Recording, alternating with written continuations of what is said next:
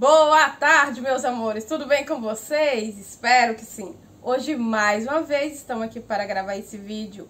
Primeiramente, agradecer nosso Senhor. Obrigado, meu Deus, por essa oportunidade de gravar mais esse vídeo. E agradecer a todos vocês. Um grande beijo a todos. Estou muito feliz com tudo, meus amores. Boa tarde, gente. Tudo bem com vocês? Nós vamos fazer o que, Sarinha? Nós vamos fazer uma receitinha que é misture aveia com maisena e um ovo e não vai mais querer pão. Faça essa receitinha que é uma ótima opção para o café da manhã, o café da tarde, o café da noite, o lanche. É uma receitinha de frigideira pronta em menos de 10 minutos. É uma receitinha saudável que vai deixar você saciado até o horário do almoço. Não é isso, mãe? Isso mesmo, pessoal. A gente vai compartilhar com vocês uma receitinha prática, fácil, rápida, econômica e muito saborosa. Então vamos começar. Aqui a gente tem o que, Sarinha? Apenas um ovo, uma colher de maisena e três colheres de aveia e uma colher de fermento opcional e sal a gosto. Então, pessoal, agora a gente vai começar a receitinha, né, Sarinha? Sim. A gente vai pegar esse ovo, você vai pegar um talher e vai fazer isso, ó. Misturar o ovo, bem misturadinho. Isso aqui com cafezinho, gente, é muito, muito, muito, muito saudável para as pessoas que estão de dieta, as pessoas que não podem comer coisas com trigo, né, Sarinha? Sim, é, é sem lactose, né? É uma receitinha sem leite de vaca, sem leite de coco, sem nenhum leite.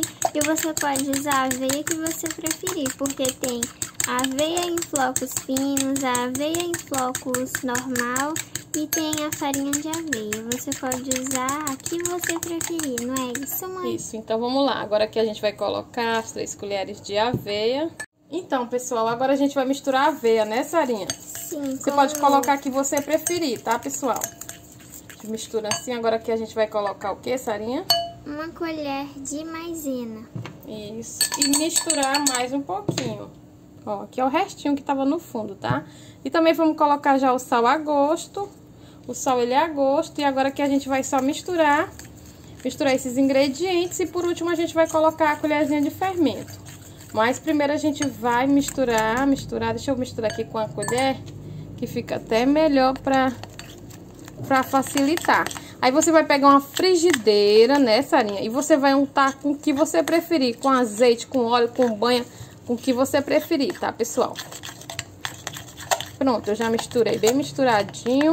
Agora a gente vai colocar aqui, ó, a colherzinha de fermento. E misturar mais um pouquinho.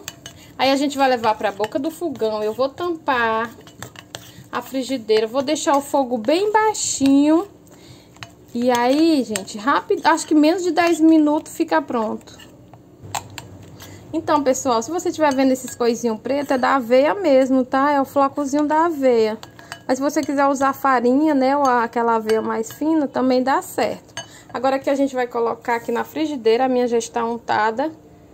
E aí a gente vai colocar aqui, eu vou levar para a boca do fogão e já já a gente volta mostrando como está ficando essa delícia de receita. Então até já, pessoal! Então, pessoal, voltando, já ficou pronto. Fica pronto em menos de 10 minutos. Você deixa 3 minutos de um lado, depois deixa 3 minutos do outro e vai vendo. Você tem que deixar o fogo bem baixinho e tampado, ó. Do jeito que tá esse aqui, ó. Olha como ficou.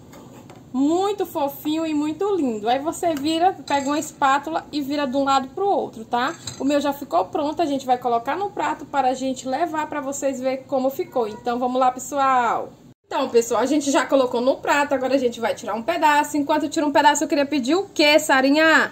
Pra você não esquecer de deixar o seu like, se inscrever no canal se você ainda não for inscrito, ativar o sininho para receber as notificações, compartilhar essa receitinha nessas redes sociais e deixar um comentário do que você achou.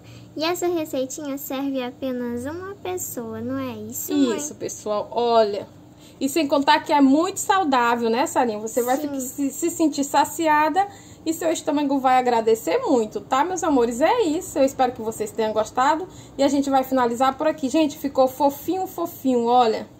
Olha, pessoal com cafezinho quente, tudo de bom. Então é isso, a gente vai finalizar por aqui. Eu espero muito que vocês tenham gostado e muito obrigado por vocês assistirem esse vídeo.